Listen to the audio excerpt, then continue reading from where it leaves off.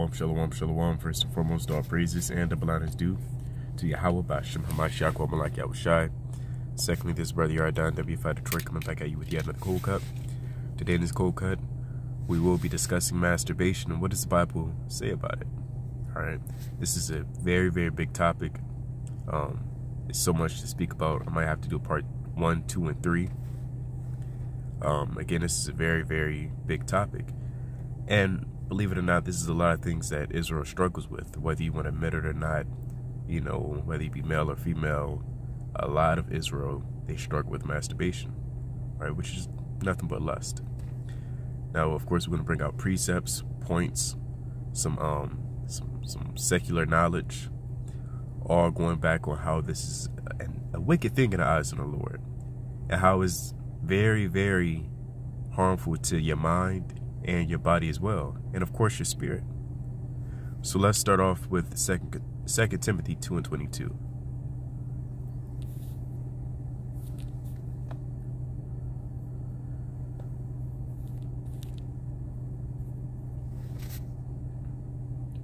Flee also. Now I want to get the background because when we read anything, I don't want to just read blindly. I want Israel to know the context behind what's written and why it's written right? Now, this is Paul writing to Timothy. Therefore, you know, First Timothy, Second Timothy is to Timothy. Paul, an apostle of Yahushua Mashiach by the will of God, according to the promise of life, which is in Hamashiach Yahushua. To Timothy, my dearly beloved son, grace, mercy, and peace from God, the Father, and Christ Yahushua our Lord. This is the introduction, right? And it's addressing Timothy. Now, whether or not Timothy was his actual son, that's up for, for debate. Scholars uh, argue yay, others nay. That's not really the point here, but the overall um, message is it's like it's 2 Timothy 2 and 22. The overall message for this main cold cut is to flee also youthful lust, but follow righteousness, faith, charity, peace, with them that call on the Lord out of a pure heart. Right? You know, I should probably start start up a little bit more. Let's start at verse 21. Slugia. If a man therefore purge himself from these, he shall be a vessel unto honor. Right? Remember, we're a vessel. We're a vessel unto the Lord. And not only that, we're gold. But when you pick up gold for the first time, that's not it's not in its purest form. It's not its final form, as you would say. You know, there's that old meme, this isn't even my final form. And you have to wake up and, you know, tell yourself that. You know, or every time you fall short, you have to tell yourself, it, well, this isn't my final form. Whenever you fall short to lust or any other type of wickedness, you have to tell, hey, this is my final form. This isn't me. This really doesn't identify me, right? If a man therefore purge himself from these he shall be a vessel unto honor, sanctified, meaning set apart, and meet for the master's use, and prepared unto every good work. Right? That's plain upon tables. You know, everybody in their house has a favorite cup or a favorite vessel, you know, you want to honor it, right? Not worship it, but you really, you know, use it the most. Is verse 22. And, you, and, and, like man, you want the most high to utilize you, you know, uh, Slakia. You really want the Most High to utilize you, right? To the fullest advantage, that his name may be magnified. Verse 22, flee also youthful lust, but follow righteousness, faith, charity, peace with them that call on the Lord out of a pure heart. Now that's plain upon tables. You have to flee youthful lust. And a lot of these things, or I should say masturbation and, and that por pornography demon, that starts at a young age. That starts in our youth. You don't just turn 30 and just get addicted to it.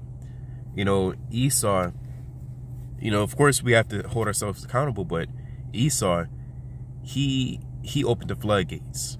There's a lot of, um, how do you say, uh, predictive programming. There's a lot of um, innuendos in, in speech within movies especially Disney Channel and the Cartoon Networks. You have a lot of provocative images displayed, hidden uh, messages, and, and, um, and drawings, it's a lot of um para, uh, phallic. I would say that's that's the word. There's a lot of phallic symbols in cartoons and Disney uh, shows, old Disney shows. You know, and that gets into you know into the young kid's mind, and then you know they're they're more understanding or more how do I say they have more of a, an acceptance of it. They're ready to accept it because that that seed has already been planted within their mind. You know. So you have to flee youthful lust. You know, especially when you first come into this truth. I mean, you come in as a babe. You literally come in as a babe. That's Matthew the 18th chapter. That's Second Esdras. You know the uh, let's bring that the 14th chapter. You know when you sub, let, let's just bring it out.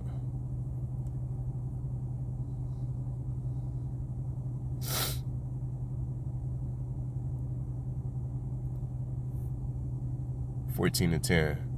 Lucky. Where should we start?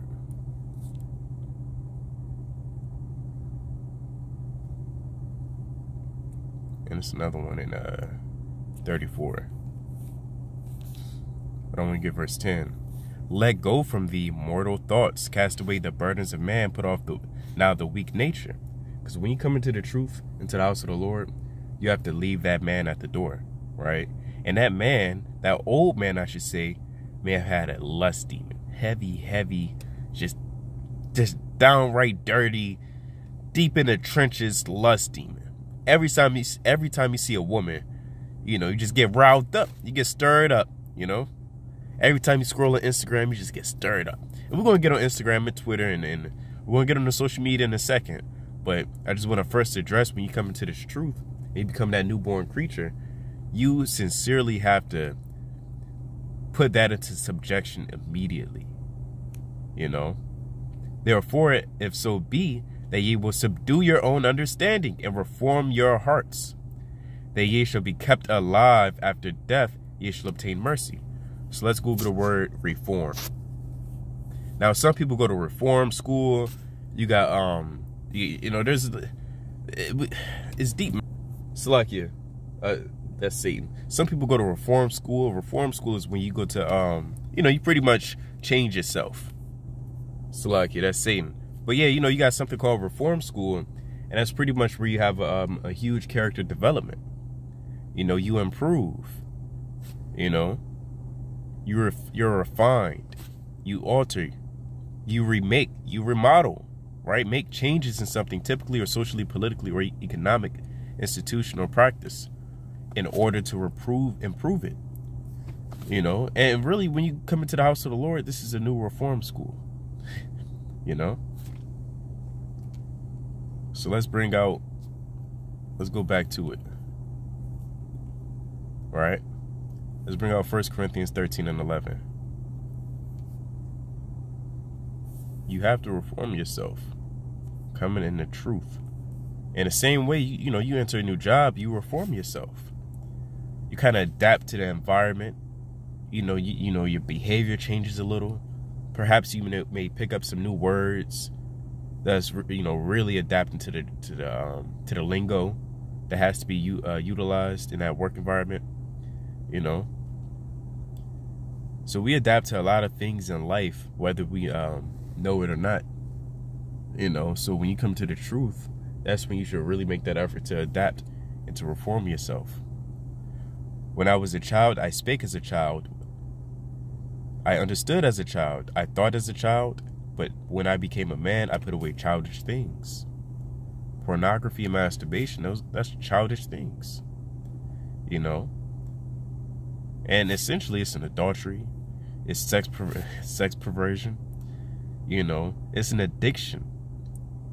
And that literally messes up your your um your chemical balances within your head. We'll get to that later as well, but I just want to um open the door by letting Israel know when you come into this truth, you sincerely have to flee youthful lust. Remember that you're here to serve the Lord. And the Lord's not messing around. He's not a nice guy coming back with a chili dog and a foam finger and, and, and a uh, damn NBA jersey on, a Kobe jersey on. Talking about let's go to New York City. I want to see the sights. He's coming back with a sharp sword He's coming back with a sickle. He's coming back with fire. He's coming back with a with a whole crew. Hey, the Lord is not a nice guy. All right, this is Sirach 18 and 23.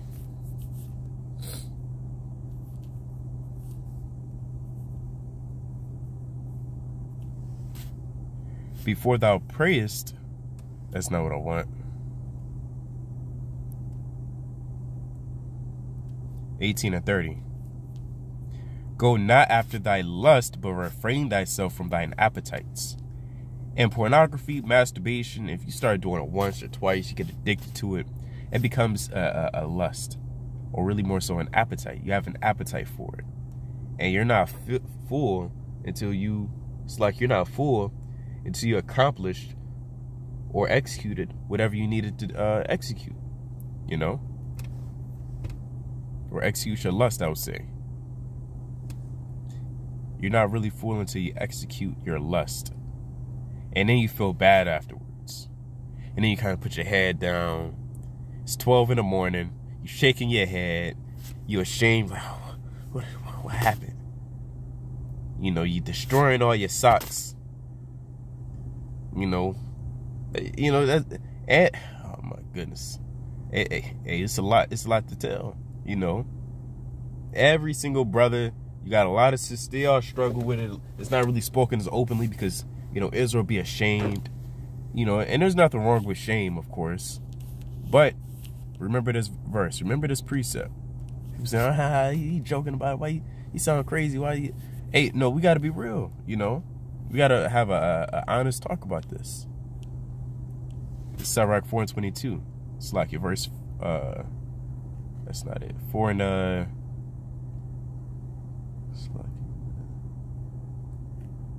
21, 20, 4 and 21. You know, of course, I may add some humor to it to, uh, to, to lighten it up, but this is serious stuff, man. This is real life. Because your soul is on the line, you know? And a lot of times Israel feels shameful afterwards and it's just, man, I'm not doing this truth no more. I keep falling short. Oh man, this got a demon on me. And there's no point. I'm gonna keep I'm gonna keep doing it. I can't stop you know. So you don't want to let your shame, you know, bring forth more sin. Sirach 4 and uh, 21. For there is a shame that bringeth sin, and there is a shame which is glory and grace. In other words, your shame can bring you, could drive you to more sin. Right? You feel so shameful, you're like, your mindset and mentality is like, F it, I'm to do it again. Or, on the contrary, you could allow your shame to drive you to success, right? Which is glory and grace. Because in your shame, you only feel two things, right? Um, you feel compelled to do it again, or you feel compelled to um, to rectify the situation, to make it right with the Lord, right? To pray and to beseech Him, ask for mercy and grace, and then once you're allowed that uh, that grace, then you have that glory. So for those who may, you know, feel shameful, that's good. Shame is a good feeling. It's good to feel shameful. But don't let that shame destroy you. Allow that, you know, drive that shame to glory and success. By telling yourself, okay, I'm gonna do this next time to prevent it. I'm gonna cut off my right hand. I'm gonna, and we'll get that, you know, I'm, I'm, gonna do this. I'm not gonna do that. I gotta get off that site. I, I can't text her no more. I can't text him. Oh yeah, I know I usually slip up around this time. You have to really sit back and examine your life and examine yourself to ensure that you're loving God accordingly to the best of your ability. Second Corinthians chapter 13 verse 4. Verse 5. Examine yourselves whether ye be in the faith. Prove your own selves, know ye not your own selves that how that Yahushua Mashiach is in you, except ye be reprobates. You see that? You must self-examine in this truth. If you don't, you will fall short back to back to back to back. You keep falling off and keep falling short. What's going on? Why is this happening? You're not examining yourself. Right? You think a team that's 0-10, they just say, well, why we keep losing? Let's just try again. You know, they go back to the chalkboard and try to figure out what's going on wrong every single time. You know? Or at least that's what they should do. So you have to examine yourself. You have to examine your faith. You have to examine your spirit. You know, there's a lot of things to examine. You have to look at yourself the same way that a damn mechanic looks at a car. Because, or a house inspector looks for certain things in a house. They have a, that, that damn brown board with the paper on it, and there's a list of things that, that they have to check for. If this is leaking, if this wire is out of place, if this outlet's kind of jammed up, you know, if this switch is bad, there's a list of things that they have to look for, and you have to see yourself in the same manner. You have to write down a list of things. Okay, I'm, I'm falling short on that. I keep doing that. That happened again. You have to examine yourself. That's what it really means. And upon examining yourself, it's not just, okay, I, I did this, I did that. Okay. No, you have to work on it. That you have a problem. You're sick. Right? You're sick. And you have to figure out what's going on with you. Same way a doctor treats his patients. He examines the patient, thus finding a, a solution through examination. Right? So you have to find a solution. But first, to get to that solution, you have to examine your body, your, your spirit, your life, your surroundings, your environment. You have to examine all of that, weigh it in the balance, figure out what's enabling you or what's um, provoking you. You know, I'm gonna get one more and uh, we're close close up and uh, start part two. What was that? Colossians three and five.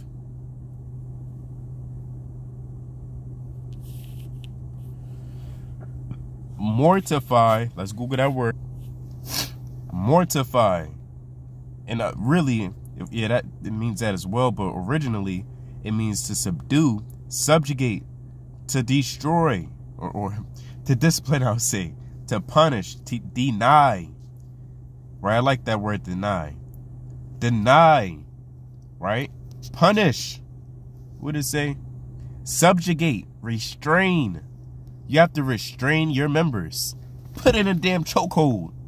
Right? Mortify therefore your members, which are upon the earth, fornication. That's what a masturbation is. That's what pornography is. That's what lusting after somebody is. Uncleanness, inordinate affection. What's an inordinate affection? Because some Jacob say, well, well, the Bible don't say you can't masturbate. They just pull out, oh, nine, that's, that account is uh, Genesis 38. That don't really count. You can't really, no, I mean, pull out, that's a little different. And can, that means you can do pornography. No, hold up. Inordinate affection. You know what it is. Let's Google it. Inordinate, unusual, disproportionately, excessive, unreasonable, unwarranted, right? Right, so lusting after a woman that you don't know, that's unwarranted.